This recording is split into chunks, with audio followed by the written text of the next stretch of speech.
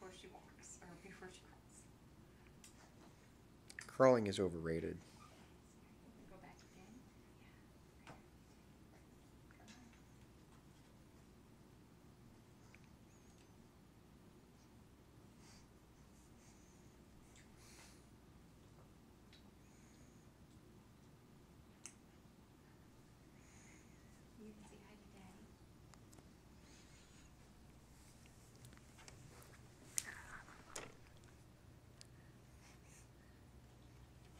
嗯。